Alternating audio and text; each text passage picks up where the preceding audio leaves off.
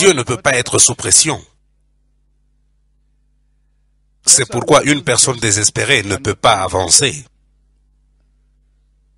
jusqu'à ce qu'il réalise qu'il doit être délivré. Le temps est en train de passer. Au jour du jugement, vous n'allez pas demander un autre rendez-vous. Non. Le jour du Seigneur, c'est un jour de rencontrer Dieu Tout-Puissant, jusqu'à ce que Dieu aura fini avec moi. Ainsi, je saurai quoi faire. Et je ne dois pas être pressé par le temps. Dieu est hors du temps, hors de tout empressement quelconque. Dieu ne peut pas être intimidé par qui que ce soit. Pas du tout. Lorsque vous devenez enfant de Dieu, vous serez comme votre Père.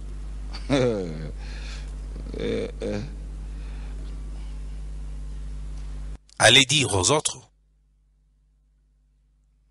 Allez dire aux autres.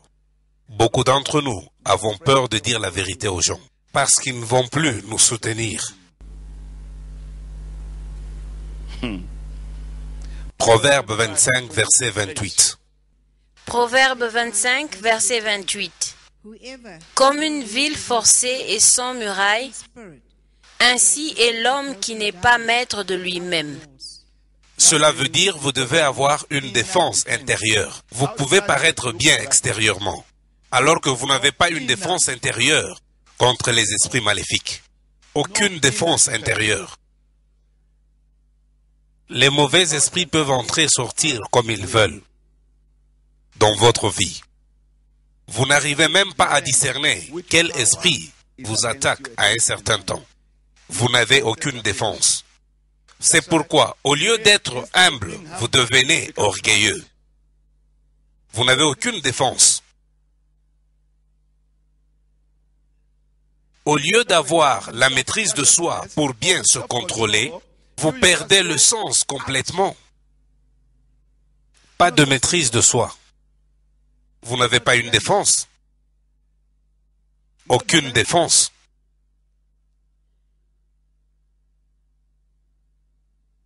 Tout celui qui ne peut pas contrôler son esprit est comme une cité détruite, une cité qui n'est pas protégée ou couverte. Regardons certains points majeurs cet après-midi. Les points majeurs dans la personnalité humaine où les démons aiment prendre résidence. Comprenez que si vous n'avez pas une défense, alors les démons viennent prendre résidence. Par exemple, dans un être humain. Où est-ce qu'ils aiment résider?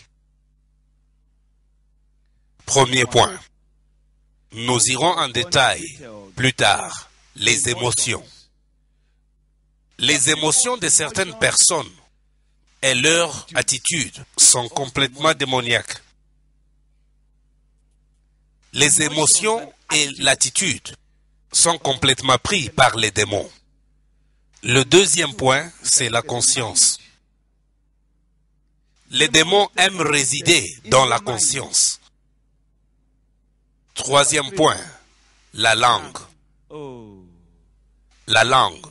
Certains d'entre vous, la manière dont vous trompez surprend même Satan. La langue. Quatrième point, le sexe. Le sexe. Cinquième point, l'appétit naturel. L'appétit. L'émotion et l'attitude. Rentrons au premier point, l'émotion et l'attitude. La plupart des émotions négatives correspondent à un démon spécifique. Si vos émotions deviennent obsédantes ou habituelles, certainement il y a un démon en vous. Si vos émotions deviennent obsédantes, soit habituelles, il y a un démon en vous. Regardez vos émotions. Je n'aime pas ceci, je n'aime pas cela, non, je n'aime pas ceci. Non. Et cela devient votre habitude. Vous devez savoir à partir de ce jour que les démons travaillent en groupe. Les démons travaillent souvent en groupe. Cela veut aussi dire si les démons opèrent en groupe. Donc, il y a un démon qui avait ouvert la porte. Ce n'est pas tous les démons qui ont ouvert la porte. Non, il doit y avoir un. Ce démon qui avait ouvert la porte la gardera ouverte afin que d'autres démons puissent entrer dans cet homme. Par exemple, le démon qui a ouvert la porte à travers l'émotion et l'attitude peut être le rejet. Beaucoup d'entre nous faisons face à cela maintenant. C'est le rejet qui avait fait que la porte soit ouverte. Tout simplement pour permettre aux autres démons d'entrer. Vous étiez rejeté depuis l'enfance. Vous étiez rejeté depuis le sein de votre mère. Alors, aussitôt que vous faites face à cet esprit de rejet, la porte est ouverte. Ainsi, d'autres démons viendront. Alors que celui qui avait ouvert cette porte dans vos émotions et attitudes, c'est l'esprit du rejet. La sorcellerie. Les gens qui sont agressifs. Les gens avec la réaction agressive du rejet peuvent facilement entrer dans la sorcellerie. Ils veulent intimider. Ils veulent contrôler et manipuler. Si tu refuses de faire ceci, tu verras. Ça, c'est la sorcellerie. Et vous dites cela à votre femme. Fais ceci, sinon, je vais au parquet. Tu connais le parquet. Ça, c'est la sorcellerie. Tout problème a une solution, mais pas à travers les menaces. Pas à travers les menaces. Tout celui qui menace a un esprit du rejet. Parce que toute personne a été créée libre. Nous pouvons ne pas nous comprendre, mais je continue à vous aimer. Pas forcer quelqu'un à se mettre d'accord avec vous. Non. Le rejet, des fois, se manifeste dans les gens qui sont agressifs par la violence. Il y a des gens ici qui lancent des histoires sur leurs femmes. Ils veulent déformer leurs femmes alors qu'ils disent qu'ils les aiment. N'est-ce pas? Et fais attention, toi. Cherchez un bâton pour taper avec. Comment? Agression, agressivité, la violence. Vous sortez de la chambre à coucher tout en claquant la porte. Tout le monde dans la maison écoute cela. Et les enfants savent qui fait cela. Maman, êtes-vous bien portante? Parce qu'ils savent qui fait cela. Maman ne peut pas faire ça. Ça ne doit être que papa. Et vous plantez cette sémence dans vos enfants. Quand ils seront grands, ils vont expérimenter la même chose. Vous qui faisiez ce genre de choses, vous n'aimez pas vos enfants. Vous ne leur apprenez pas ce qui est correct. C'est l'esprit que vous transmettez. Ce n'est pas ce que vous leur dites de faire. Ils prendront votre esprit. Ils prendront votre esprit. Et si ces gens continuent avec cette agression, ils finiront par adhérer à l'occultisme. Ils finiront par là, à cause de la haine qui est en eux. Ils ont seulement l'envie de tuer quelqu'un. Et finalement, c'est le meurtre. C'est pourquoi les gens tuent. C'est pourquoi les gens tuent. L'agression va d'une étape à une autre. Voilà. Combien de gens disent que je me retrouve en cela? Merci. Avez-vous besoin d'aide? Ce n'est pas vous la personne. Vous savez, si cet esprit est chassé, vous serez plus gentil que vous ne le pensez. C'est vrai, ce n'est pas vous la personne. Tous ces esprits sont venus pour vous tuer, pour vous détruire et vous frustrer, pour vous faire échouer. Et ça, ça ne vient pas des dieux. Non. Mais beaucoup d'entre nous aimons ces esprits et nous les encourageons. Moi, je m'énerve si je vois les gens faire ceci. Je m'énerve. Vous voulez être énervé, c'est-à-dire la porte est déjà ouverte. Vous avez ouvert la porte et le groupe est entré. Deuxième point, regardons la conscience. La conscience. Plus je continue à parler, certains d'entre vous sont délivrés pendant qu'ils écoutent. Vous allez vous sentir libre. C'est vrai. Ceux qui sont disposés. Voyez-vous? Regardons la conscience.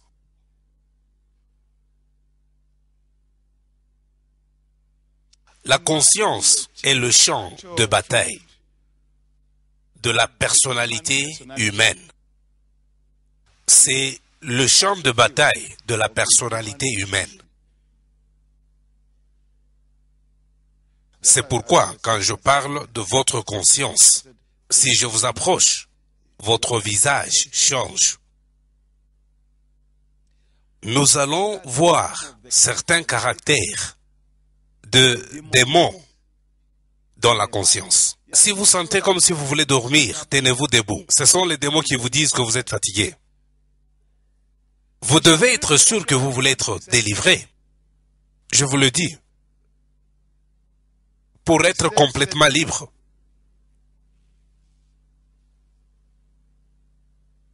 La conscience. La conscience. Premièrement, la conscience pour savoir que vous avez un démon dans votre conscience, le doute. Vous n'arrivez pas à croire facilement. La première chose qui passe dans votre conscience, c'est le doute. Vous devez être convaincu afin de croire. Vous avez le doute. L'incroyance. Vous ne croyez qu'en vous-même. La confusion.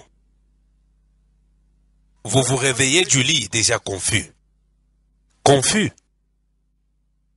La confusion. C'est une chose permanente dans votre vie. La confusion, une chose permanente dans votre vie. Des fois, même quand vous marchez, tout d'un coup, vous réalisez que vous êtes dans une mauvaise direction. La perte de mémoire, c'est aussi un démon, dites à votre voisin. Des fois, vous vous retrouvez en train de chercher quelque chose qui est dans votre poche. Et vous cherchez partout. J'avais mis ça ici, peut-être ici. L'oubli. Certains d'entre vous, femmes, quand vous mettez quelque chose sur la cuisinière, vous n'allez vous rappeler de cela que quand ça va commencer à brûler. Vous avez complètement oublié la perte de mémoire. Regardez, vous avez dit à votre ami que demain nous allons nous rencontrer à 10 heures. Et vous avez oublié pendant que votre ami vous attend. Je t'attends ici. Où? Là où nous nous sommes convenus. N'est-ce pas qu'on devait se rencontrer?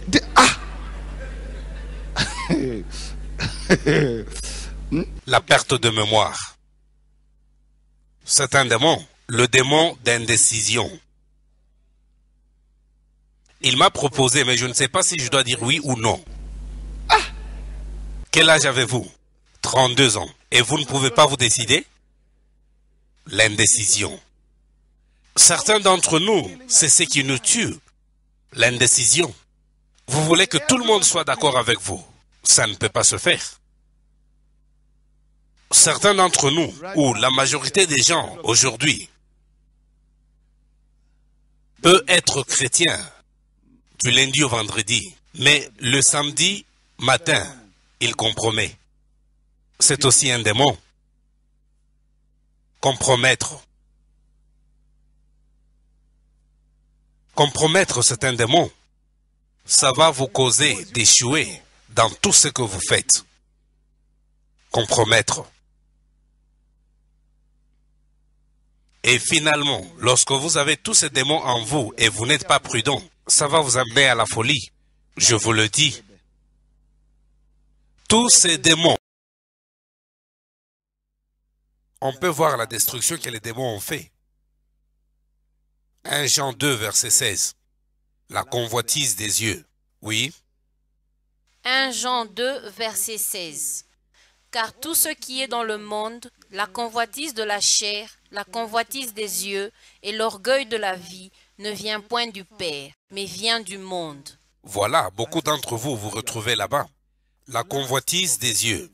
Il y a un démon spécifique qui entre à travers les yeux. Dites à votre voisin. Il y a un démon spécifique qui entre à travers les yeux. Voici là où les démons ravagent l'Église de Jésus-Christ. C'est à travers le média.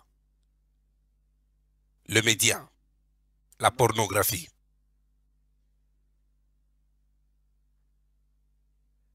Vous devez être prudent ce que vous regardez.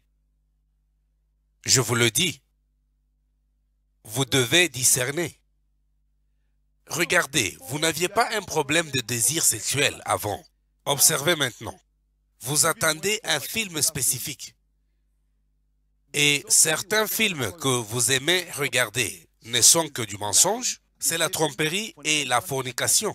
Dites-moi, qu'est-ce que vous apprenez de cela? Parlez. Et vous mémorisez tous les épisodes. C'est celui-là qui couchait avec l'autre là. Voulez-vous cela?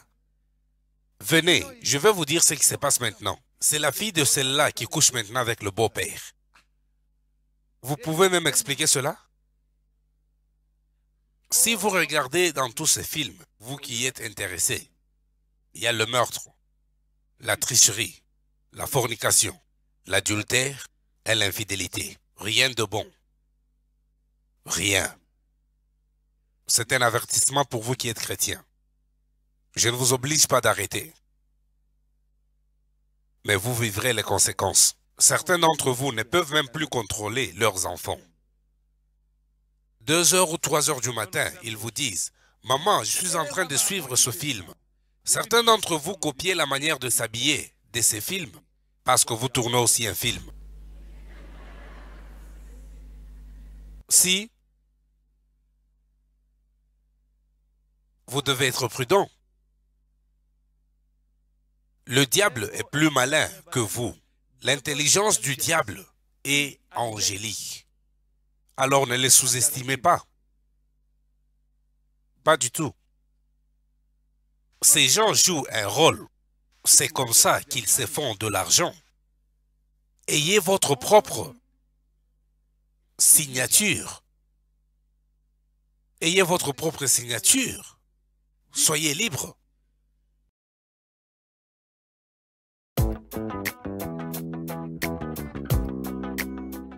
Wanduku angalivu tunamikaribisha